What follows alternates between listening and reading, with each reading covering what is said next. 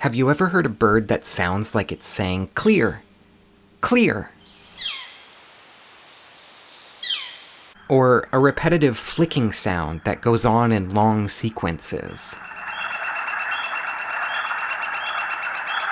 If this sounds at all familiar, there's a good chance that the bird you're hearing is a northern flicker.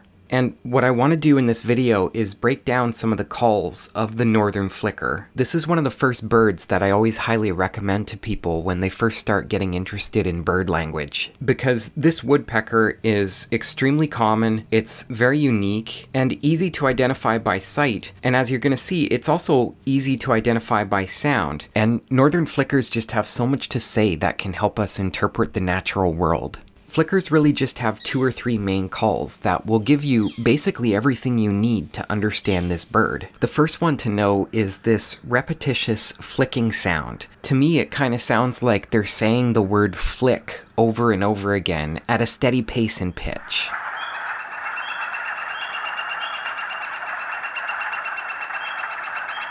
This call is very common, and in early spring, it's an indicator that the woodpeckers are beginning their mating process. They're getting ready to build their nests and start families. So you can use this call to learn all sorts of amazing things about the nesting process that goes on between male and female northern flickers. If you go in and watch where do they make these calls from, where do they fly to, follow them around for a bit, there's a very good chance that you'll be able to find their nest and be able to follow them through their nesting process. Hearing this call is also a really good indicator that the flickers are actually feeling safe to engage in their nesting process, and you'll notice that if a significant predator comes into the area, that their tendency to make this call could become a little bit suppressed. And that can be really useful information for you to help interpret what might be happening in that part of the forest. The other key thing to remember about this first flicker call is that it can be easily confused with the pileated woodpecker, which I also talked about in a recent video.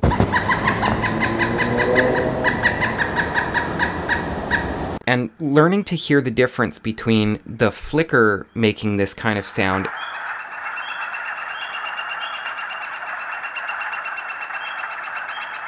and the pileated woodpecker making this kind of sound is a really helpful distinction to help you train your ears and start to be able to hear finer details within bird calls. And the real difference between these two is that the pileated woodpecker has a more variable pitch to their voice, and they also have a little bit more variation in terms of the rhythm of it. So at times it can almost seem to like speed up or slow down.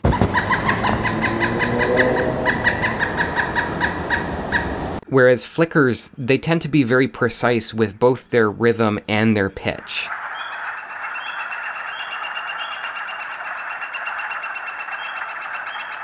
And with just a little bit of practice listening to these differences between these two calls, you will find that it's actually quite easy to tell these two apart. And it gives you a really nice window into the world of flickers. Now, the second call that flickers make is what I like to call the clear call. It almost sounds like the flickers are saying clear with their voice.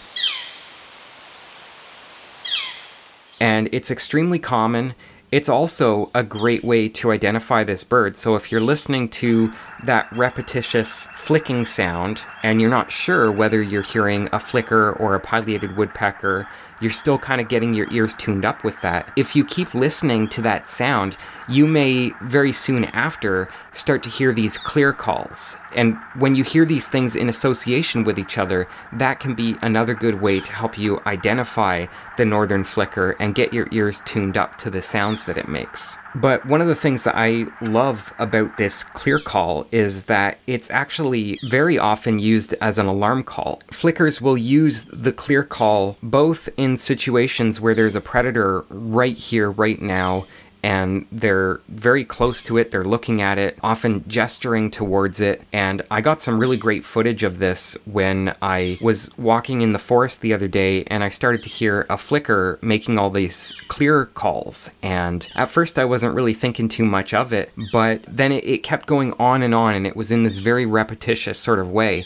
And so I wandered over and there was actually a barred owl there. And you can see how the flicker is just a few feet away from this barred owl. And in between making this call, they do this sort of dipping motion with their beak. And sometimes they were doing this dipping motion facing directly towards the owl, and other times they were facing a little bit away. But this is a very clear alarm that they're giving for the barred owl. And I was able to use this to find the owl. I've been able to use this to find hawks, and I've seen them do this for cats and all kinds of really cool animals that you can listen to the flickers and they will tell you where these animals are. And so it's a really good way to get a nice window into the natural world and what's happening behind the scenes in the forest. If you just start by learning these two main calls of the flicker, that will give you everything you need to have a really solid handle on the identification and some basic behavioral interpretation. And for the most part, everything else will kind of come along with that. As you listen and you get more experienced with this, you'll start to pick up on some of the other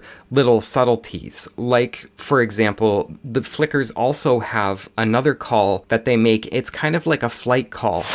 They make this call when they're just moving positions and it's kind of like a way for them to let their partner know when they're moving to a different part of the forest they'll make this call. And as you start to tune your ears to the flight call of the flicker you'll start to hear it and that'll become a cue for you to look up. Flickers will also do drumming on trees and posts the same way that other woodpeckers do.